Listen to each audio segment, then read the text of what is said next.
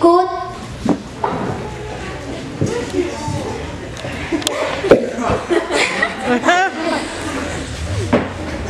Late judge.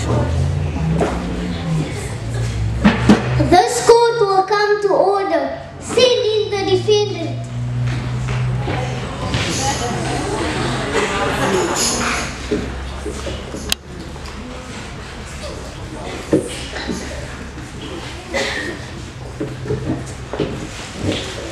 I'm telling you, I'm innocent. I haven't done anything wrong.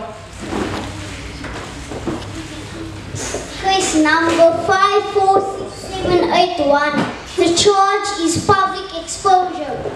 Public exposure. Do I look exposed to you? Order in the court. In my court, you will not speak unless spoken to. Even belong here. This cop who me has obviously smoking a foreign substance because I... I don't remember asking you a question. Would you like me to add contempt of court to your charges?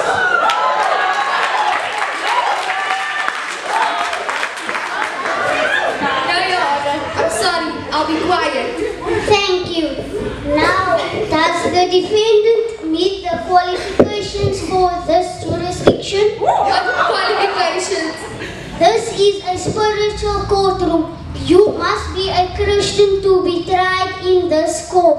Well, I am a Christian. That's why these charges are obviously false. Are you aware that the Bible clearly instructs Christians to put on the full armor of God? Yes, but I don't see. But according to the arrest report, you were seen in public wearing only the helmet of salvation and nothing else.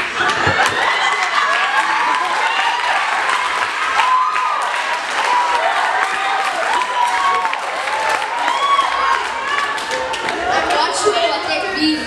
That means you were guilty of public exposure. That's ridiculous. Excuse me? Sorry, Your Honor.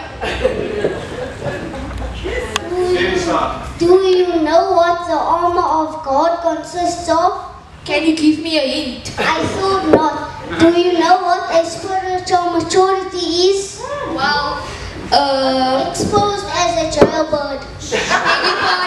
Guilty as charged. No, Your Honor. I submit myself to the mercy of the courtroom.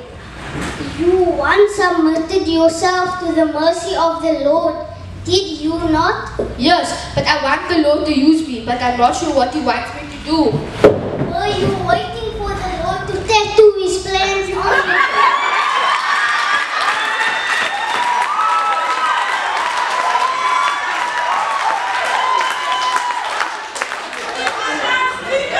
Well, no, I guess. I guess. What, what, but what does that have to do with public exposure? One of the most important pieces of the armor of God is the sword of spirit, which is the word of God. Oh, I'm supposed to read the Bible. Can you think of a better way for the Lord to tell you what he expects from you? Oh, no. Well, no, I guess. I, I guess I've been a pretty lame Christian. Listen, if you go out into the world without putting on the full armor of God, you're exposed and helpless in the midst of a raging spiritual battle.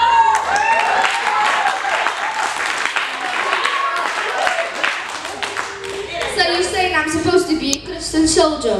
What kind of soldier goes into battle wearing only a helmet and nothing else? I put in other too. Can you really? Yes, it doesn't sound so tough. Putting on the armor of God is not something you do once and then neglect it. A soldier must put on his armor every morning. I will, Your Honor. I really will. Very well then, I'll suspend your sentence. Thank you, Your Honor. Go put something on.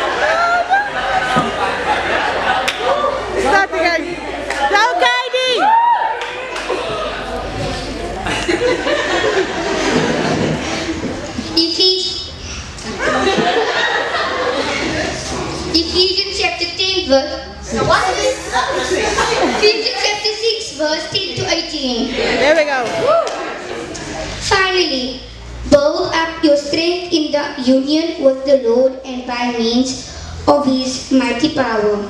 Put on the full armor of God that God gives you, so that you, you will be able to stand against the devil's tricks.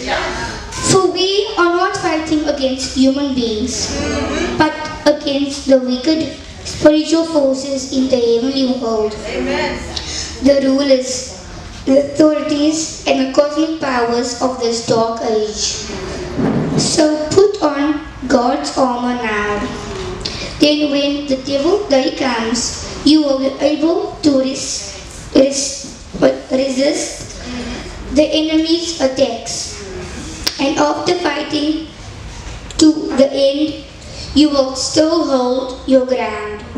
So stand ready with truth as a belt tight round your waist, with righteousness and as your breastplate, and as your shoes, the readiness to announce the God, the good news of peace. At all times, carry faith as a shield, for with it you will be able to put out all the the burning arrows shot by the evil one. And accept salvation as a helmet and the word of God as the sword which is the Spirit give you. Do all this in prayer asking for God's help. Pray on occasions as the Spirit leads. For this reason, keep alert and never give up praying. Pray always for all God people